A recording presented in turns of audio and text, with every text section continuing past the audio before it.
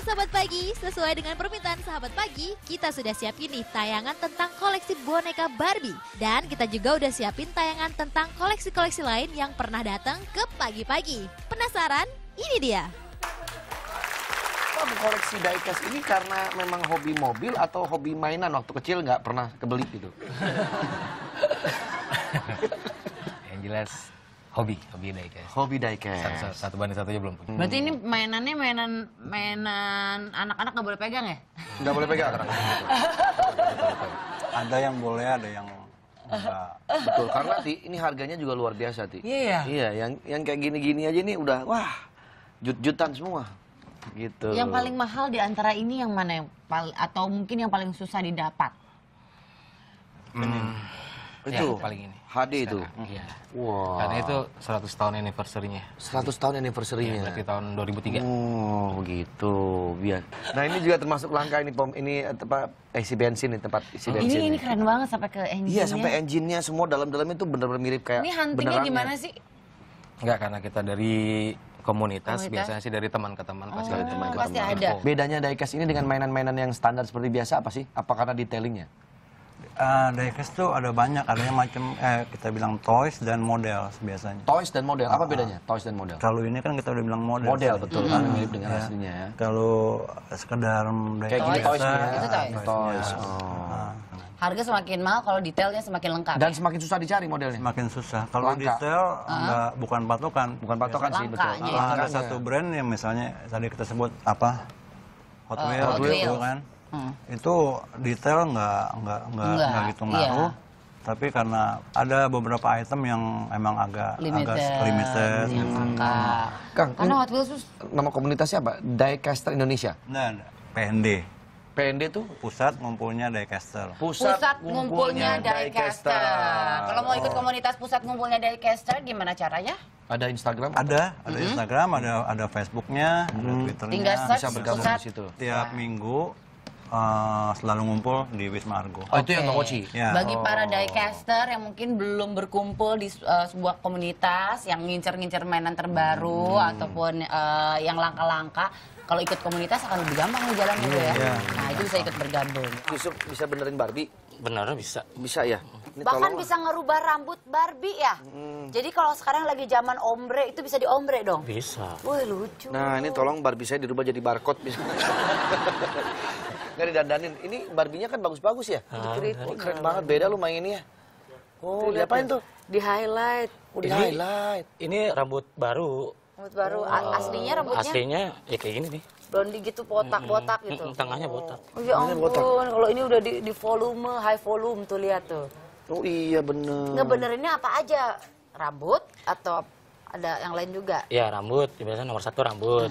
Terus alatnya kedua jarum sama gunting. Jadi khusus buat rambut Barbie, benerinnya. Iya. Oh ya ampun. Terus model juga macam-macam ini. Oh si Nah itu Ken. kan model baru tuh, yang zaman sekarang yang yang apa? Pakai Wok wadoyok? Nah itu. Oh gitu, ya ampun. Wadoyok.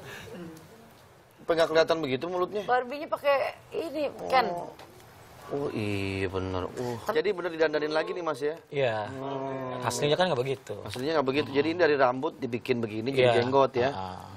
Oh jago. Model-model yang paling susah yang mana, Mas? yang susah paling yang mak apa pemakaian rambutnya itu lebih dari satu. Tapi nggak ngerubah bentuk muka. Kalau muka enggak ya, jadi lebih kan ke lebih rambut. ke ya itu namanya kan reroot ya, reroot.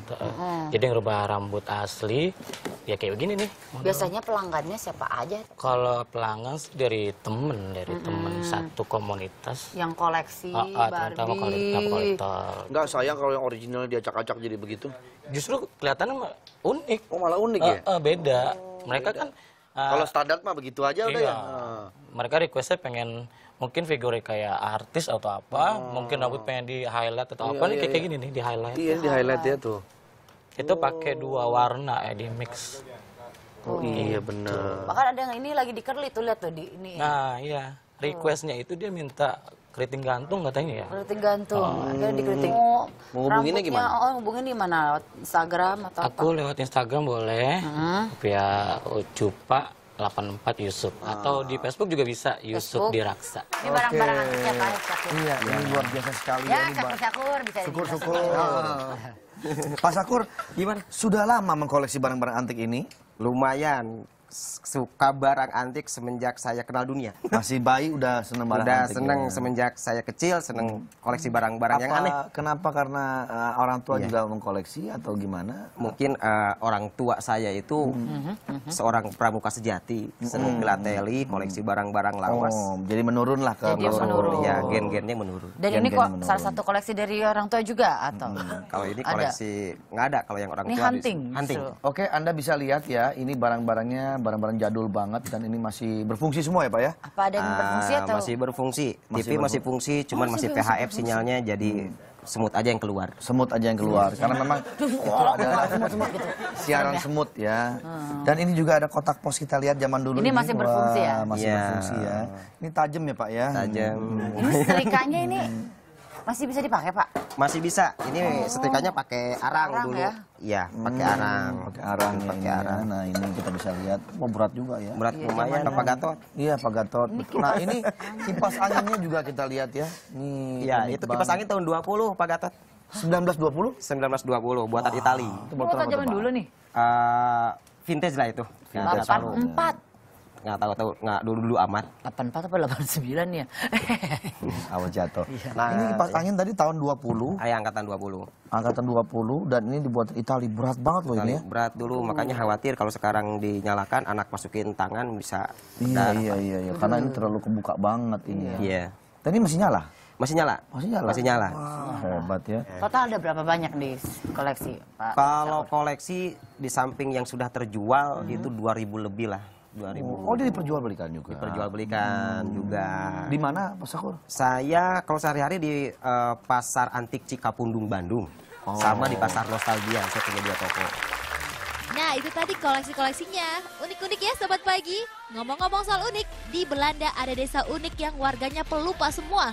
Kok bisa sih? Kita cari tahu setelah yang satu ini ya. Tetap di Pagi-Pagi Semangat.